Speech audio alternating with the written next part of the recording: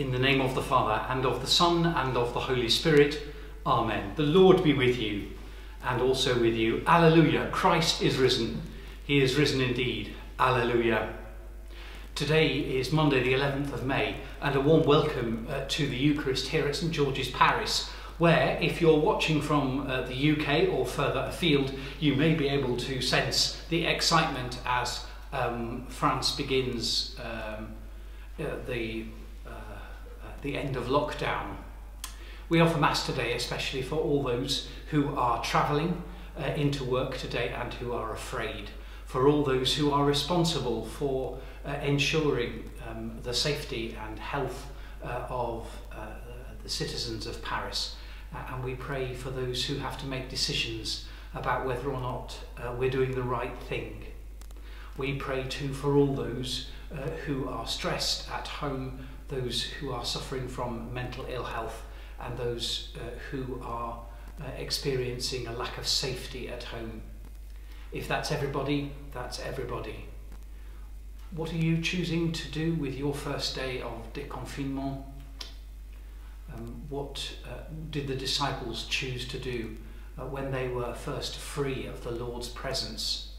Feel lost, feel um, uh, unsure uh, until they receive direction from Him. So let us then uh, look for direction to the Lord as we confess our need of Him as we set, prepare to celebrate the Eucharist. In penitence then for our sins, let us turn to the Lord for mercy and healing. Remember us, O Lord, and visit us with your saving help. Lord, have mercy. Lord, have mercy. We have sinned and done wrong and dealt wickedly. Christ, have mercy. Christ, have mercy. Save us, O Lord our God, for your name's sake, that we may glory in your praise. Lord, have mercy. Lord, have mercy. May Almighty God have mercy on us, forgive us our sins, and bring us to everlasting life. Amen. Let us pray the prayer for today. Almighty God, who through your only begotten Son, Jesus Christ, have overcome death and opened to us the gate of everlasting life, grant us that, as by your grace going before us, you put into our minds good desires, so by your continual help we may bring them to good effect through Jesus Christ, our risen Lord, who is alive and reigns with you in the unity of the Holy Spirit, one God now and forever. Amen. A reading from the Acts of the Apostles. When an attempt was made by both Gentiles and Jews, with all their rulers, to maltreat the apostles and to stone them, they learnt of it and fled to Lystra and Derbe, cities of Lycaonia, and to the surrounding country, and there they continued proclaiming the good news. In Lystra there was a man sitting who could not use his feet and had never walked, for he had been crippled from birth. He listened to Paul as he was speaking. And Paul, looking at him intently and seeing that he had faith to be healed, said in a loud voice, Stand upright on your feet. And the man sprang up and began to walk. When the crowd saw what Paul had done, they shouted in the Lycaonian language, The gods have come down to us in human form. Barnabas they called Zeus, and Paul they called Hermes, because he was the chief speaker. The priest of Zeus, whose temple was just outside the city, brought oxen and garlands to the gates. He and the crowds wanted to offer sacrifice. When the apostles Barnabas and Paul heard of it, they tore their clothes and rushed out into the crowd, shouting, Friends, why are you doing this? We are mortals just like you, and we bring you good news, that you should turn from these worthless things to the living God, who made the heaven and the earth and the sea, and all that is in them. In past generations he allowed all the nations to follow their own ways, yet he has not left himself without a witness in doing good, giving you rains from heaven and fruitful seasons, and filling you with food and your hearts with joy. Even with these words, they scarcely restrained the crowds from offering sacrifice to them. Alleluia, Alleluia,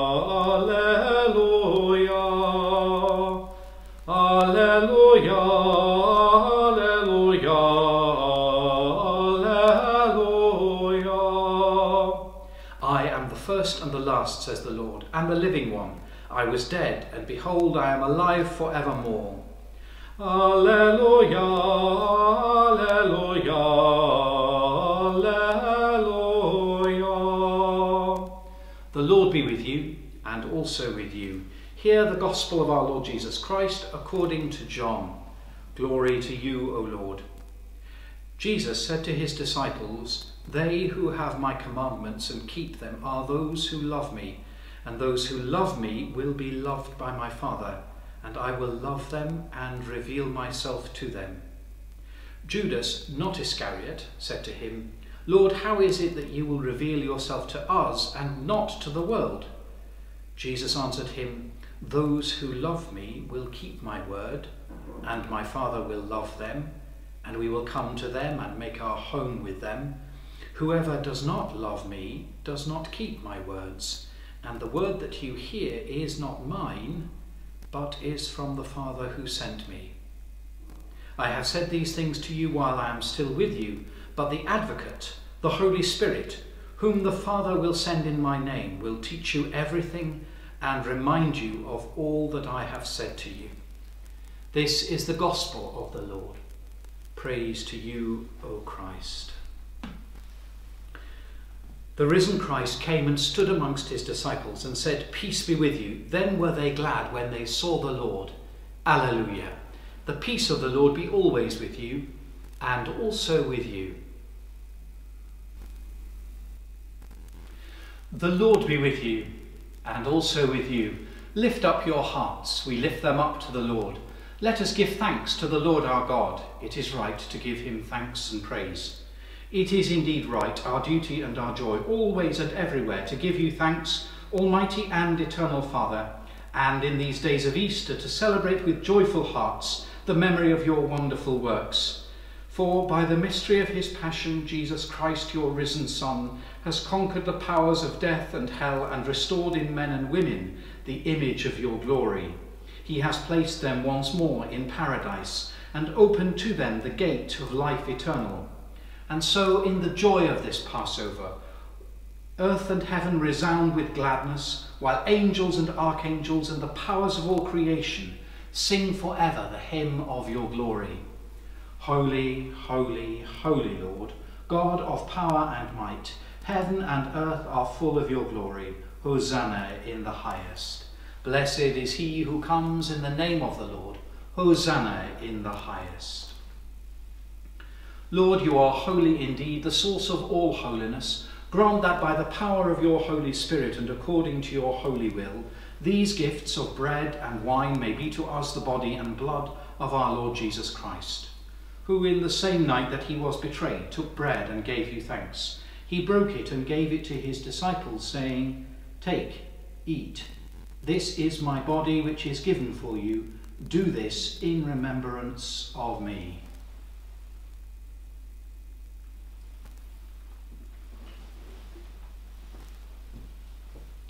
In the same way, after supper, he took the cup and gave you thanks. He gave it to them, saying, Drink this, all of you.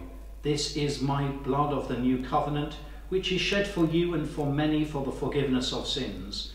Do this as often as you drink it in remembrance of me.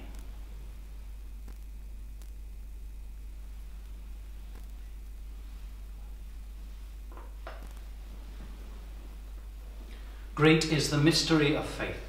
Christ has died, Christ is risen, Christ will come again.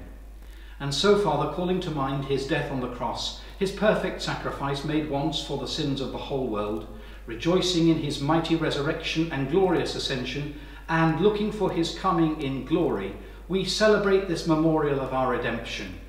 As we offer you this, our sacrifice of praise and thanksgiving, we bring before you this bread and this cup, and we thank you for counting us worthy to stand in your presence and serve you. Send the Holy Spirit on your people and gather into one in your kingdom all who share this one bread and one cup, so that we, in the company of Mary, Virgin Mother of God, George, Genevieve, and all the saints, may praise and glorify you forever through Jesus Christ our Lord, by whom and with whom and in whom, in the unity of the Holy Spirit, all honour and glory be yours, Almighty Father, forever and ever. Amen. In the light of the resurrection, let us pray as our Saviour has taught us, saying, Our Father, who art in heaven, hallowed be thy name. Thy kingdom come, thy will be done in earth as it is in heaven. Give us this day our daily bread, and forgive us our trespasses, as we forgive those who trespass against us. And lead us not into temptation, but deliver us from evil. For thine is the kingdom, the power, and the glory, for ever and ever. Amen. We break this bread to share in the body of Christ. Though we are many, we are one body because we all share in one bread. Lamb of God, you take away the sins of the world, have mercy on us. Lamb of God, you take away the sins of the world, have mercy on us. Lamb of God, you take away the sins of the world, grant us thy peace. Behold the Lamb of God who takes away the sins of the world. Blessed are those who are called to his supper. Lord, I am not worthy to receive you, but only say the word, and I shall be healed.